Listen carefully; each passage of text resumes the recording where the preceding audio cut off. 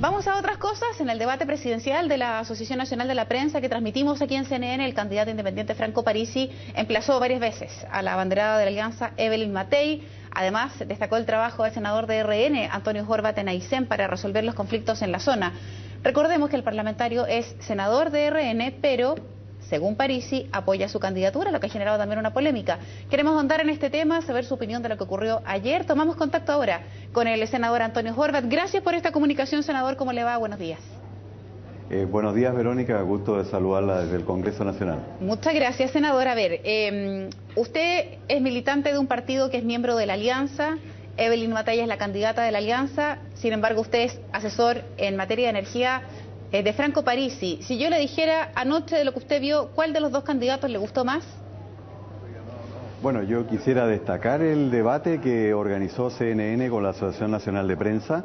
Eh, tenemos la oportunidad de que la ciudadanía se entere más de las propuestas dentro de los breves tiempos y bastante esquemático, pero muy bien desarrollado por los que organizaron esto. Yo creo que eh, el caso de Franco Parisi lo hizo muy bien, tuvo poco espacio para terminar sus planteamientos y también destaco en el caso de Evelyn Matei que se haya abierto a las energías renovables no convencionales, incluso se atrevió a explicar con algún grado de detalle la energía termosolar y la geotermia, sin embargo esquivó el tema de hidroicén, lo cual a nuestro juicio no es conveniente. Eh, por lo tanto creo que fue un buen debate, la gente pudo tener oportunidad de valorar propuestas y esperamos que hayan más debates en medios públicos de comunicación. Ya, pero senador, usted me contestó que lo mejor fue el debate o lo bueno fue el debate, pero no me termine de quedar claro quién encontró mejor, si a Matei o a Parisi. Mire, yo la verdad es que creo que la candidatura de Franco Parisi se abre a romper la concentración económica, política y de los medios de comunicación en nuestro país y es algo efectivamente novedoso que le va a dar más poder a la gente. Y también valoro este cambio de Evelyn Matei a lo que se refiere a las energías renovables, a la conectividad en la zona austral, a resolver el tema del agua en la zona norte. Lo que sí echo de menos es la posibilidad de evitar el lucro y avanzar en la gratuidad de la educación pública. Ya, bueno, vamos a otro asunto entonces. Eh, mucho se ha hablado de las interpelaciones, senador, que hubo ayer en el debate, particularmente entre Franco Parisi y, la candidata Evelyn Matei. ¿Qué sensación le deja eso a usted? Porque finalmente hoy día estamos hablando justamente de, esas interpelaciones y no probablemente de las ideas más a fondo que expusieron eh, cada uno de los candidatos. Y en particular me quiero quedar con esa frase que hoy día sigue marcando mucho la agenda informativa y dice relación con que Evelyn Matei dice que Franco Parisi en el futuro no va a estar en ninguna parte. ¿Con qué sensación se quedó usted respecto de eso? Bueno, creo que el ninguneo en política eh, malo juega en contra de la candidata.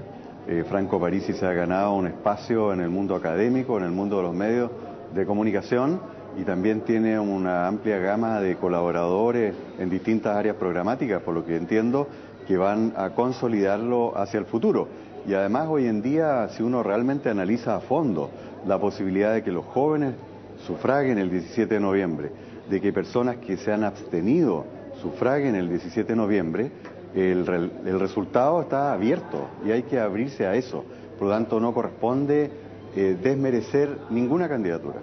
¿A qué atribuye usted, senador Horvat, que la candidatura de Franco Parisi haya ido en aumento y que hoy día sea Franco Parisi una figura con mucho más eh, relieve, incluso comunicacional, que, por ejemplo, alguien como Marco Enríquez, que Enríquez Ominami, que en la elección pasada también fue una sorpresa que a muchos em, los, eh, pilló absolutamente improvisado porque no, no esperaban cifras de adhesión como la que tuvo Marco Enríquez en esa oportunidad. ¿A qué atribuye usted que hoy día París incluso supere a Marco Enríquez en las expectativas de encuestas?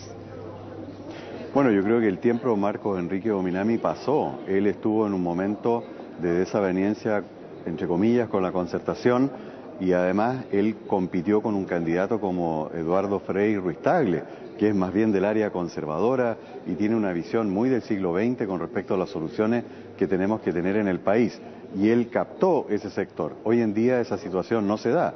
Hay otros candidatos que tienen mayor proyección hacia el futuro y por lo tanto creo que él hace un planteamiento importante, pero que va a ser recogido por los otros candidatos. Ahora, respecto del próximo debate que viene, senador, em, el 25 de este mes lo organiza la, la Archi y en esa oportunidad eh, va a estar la totalidad de los candidatos, va a ir Michelle Bachelet, ya lo ha confirmado. ¿De qué manera eh, cree usted que se va a preparar em, Franco Parisi para aquello que elecciones debió sacar eh, de su presentación anoche?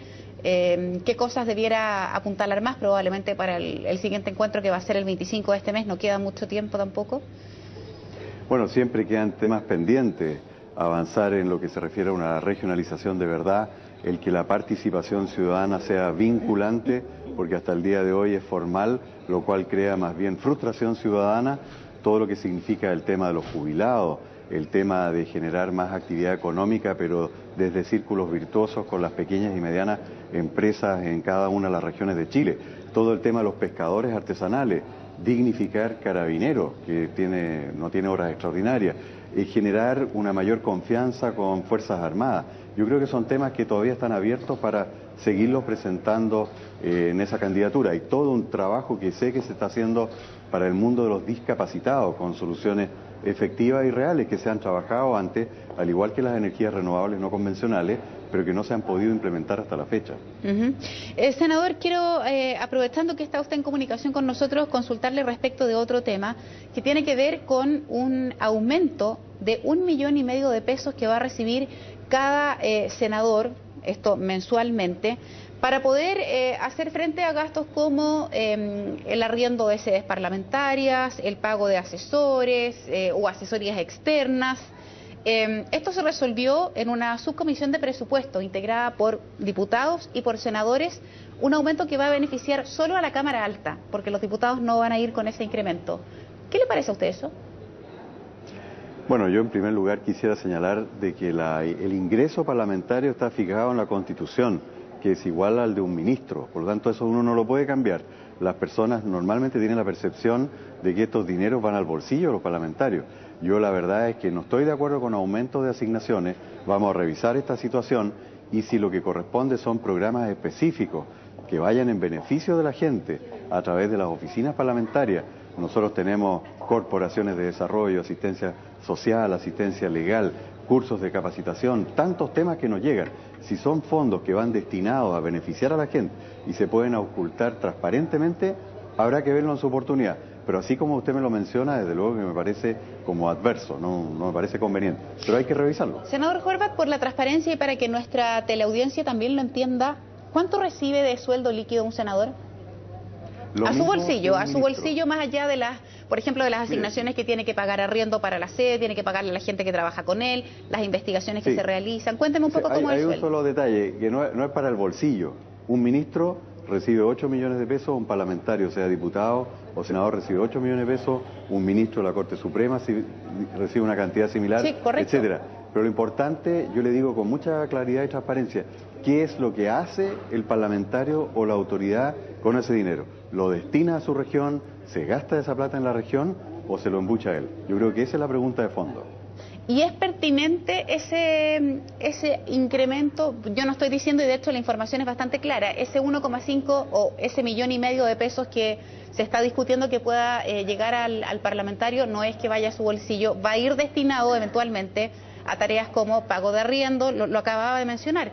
Em, lo que a uno le llama la atención es que se supone que todos esos gastos debieran ya estar contemplados. ¿Por qué hay que recurrir ahora a un incremento eh, adicional de 1,5 millones de pesos para ese parlamentario? Eso es lo que no, no termina de quedar claro. ¿Qué información tiene usted? Ya, es que no lo tengo. Yo estoy presidiendo la quinta subcomisión de presupuestos que es Agricultura, Obras Públicas, Transporte, Energía, Telecomunicaciones. Voy a revisar esa situación, pero le vuelvo a decir, aquí no creo que haya un incremento, o sea, tengo que revisarlo pero para esto no lo, no lo otorgamos nosotros. Nosotros tenemos una organización que es externa al Senado, que fiscaliza y ve las asignaciones parlamentarias y es del más alto nivel. Ahí están ex rectores de universidades, está ex presidente del Banco Central, está personas que fueron directores del presupuesto. Por lo tanto, al revés, yo creo que se están apretando las platas parlamentarias, se están fiscalizando mejor y vuelvo a decir, lo que hay que hacer es asegurarse de que cualquier fondo público sea usado transparentemente y sea utilizado en beneficio de las personas. Perfecto, senador. Muchísimas gracias por haber eh, atendido el llamado de CNN pues, Chile. Que tenga una buena jornada. Igual para todos ustedes. gracias. hasta luego.